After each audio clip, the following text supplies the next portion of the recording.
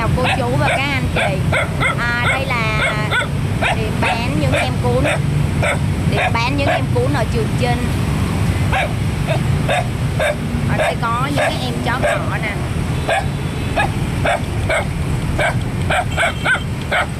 Ủa mấy cái này là chủ đem ra bán hả? con này nè. Với con này là chủ thật sự đem ra bán. Con đớm ở đằng đó. Hai con bự là chủ đem ra bán. Con này mới mua qua chủ đem ra bán luôn.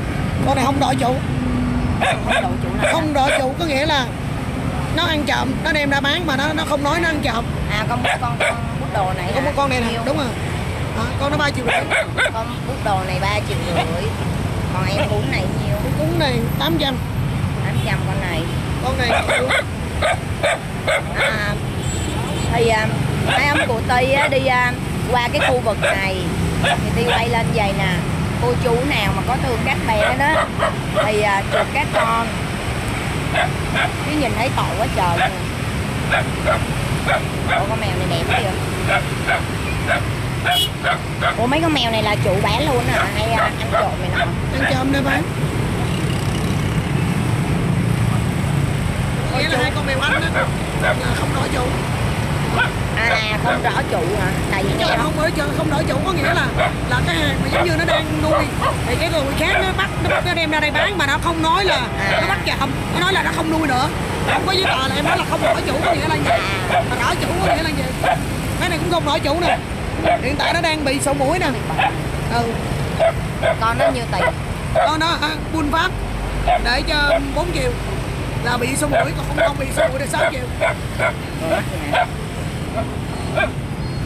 Mèo này đẹp quá ha. Mèo nó không có bị gì hết. Con mèo này như tiền? Mèo ba triệu rưỡi một con. Trời ơi, mắc dữ vậy? Mèo anh mà chứ phải mèo bình thường đâu. Mèo dạng hai màu mắt mèo anh ngắn hai màu mắt này à, ta bán là ta tùy chuột giống mèo thôi. Này ba triệu rưỡi này ba tôi đâu có biết à, dạ.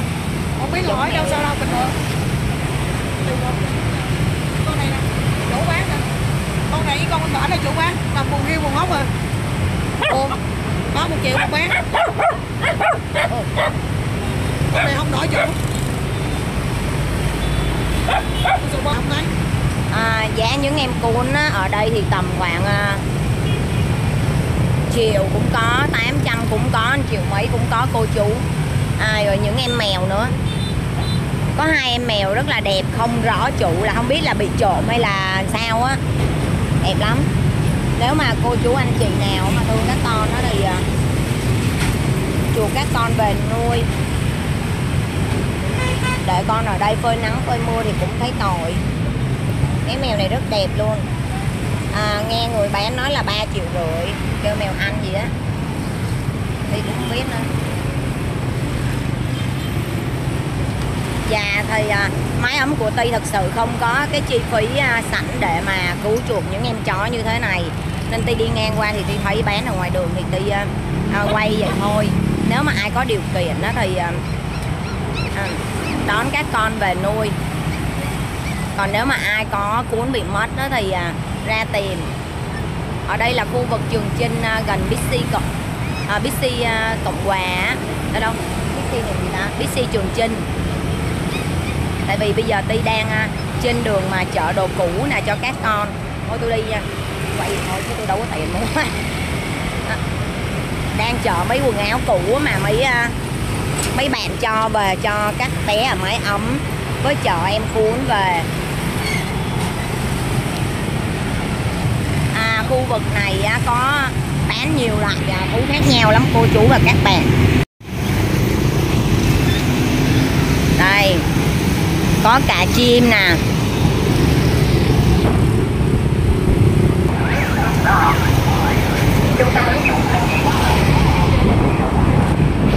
Khu vực này à, gần ở nhà Ti đó cô chú và các bạn. À, thì gia đình đình Ti sống ở quận Tân Bình. Nhưng mà Ti nuôi các em cún á, vì vậy Ti đã chuyển đến Củ Chi để sinh sống cùng các bé. Chứ mình sống ở thành phố này là không thể nào mà cu mang được các em. Bình thường á ở trên con đường này có rất là nhiều xe bán chó. Nhưng mà chắc là bây giờ là trời à, còn sớm á nên à, người ta chưa đổ ra thôi. Rất là nhiều bé chó bị trộm nè rồi bị chủ bán mang ra đây. Và Ti à, nói thật với cô chú và các bạn Ti không đồng tình với à, những cái người bán chó như thế này. À, bán chó bán mèo bán gì đó Ti không biết thì cũng phải cho các con ăn uống cho nó đàng hoàng. Những bé cuốn mèo ở đây á, đều bị phơi nắng phơi mưa bệnh luôn thì làm anh ác nhân hết đức quá, cô chú Ti đó là Ti nói thật. Ti là một người nói chuyện rất thẳng thắn, suy nghĩ sao nói vậy.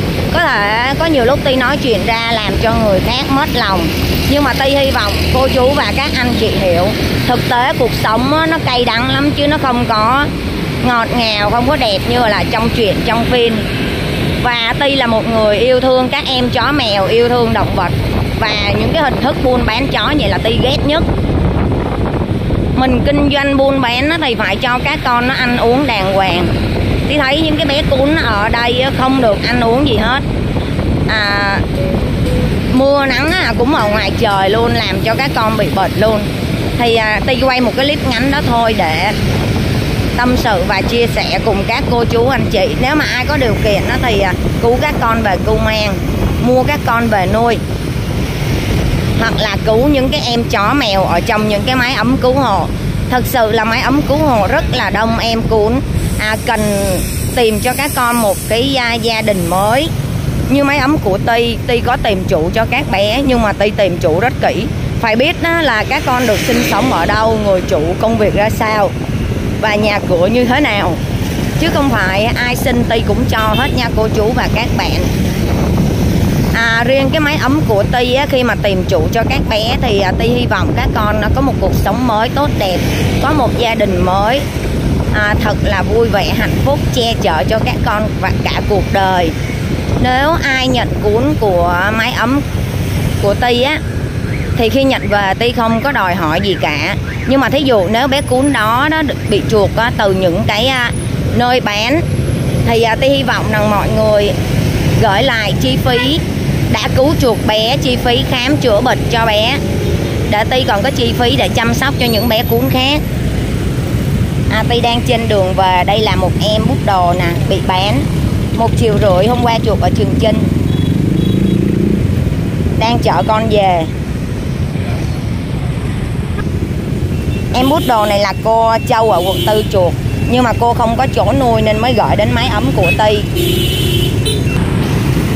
đường từ Sài Gòn à, từ quận Tân Bình á, về Củ Chi khá là xa khoảng mười mấy cây số á. À, chắc Ti xin khép clip ở đây tại vì đi ở ngoài đường rất là nguy hiểm. Ở thành phố Hồ Chí Minh đó nhiều khi á, mình đang à, cầm điện thoại đó cô chú và các bạn. Bị giật mất mẹ cái điện thoại luôn là chết luôn cô chú và các bạn ơi. Ti xin chính kính chúc cả nhà thật là nhiều sức khỏe, may mắn và hạnh phúc trong cuộc sống. Xin hẹn gặp cô chú ở những clip sau. Bây giờ trên đường về, Ti sẽ mua một số đồ cần thiết cho các bé ở mái ấm. Ví dụ như là mua một cái nệm mỏng cho em à, cuốn mà liệt bốn chân.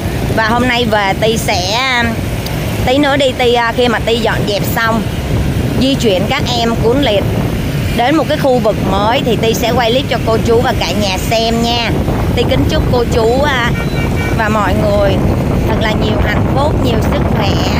Xin chào cô chú và các bạn Hẹn lại ở những cái clip sau. Bye bye mọi người.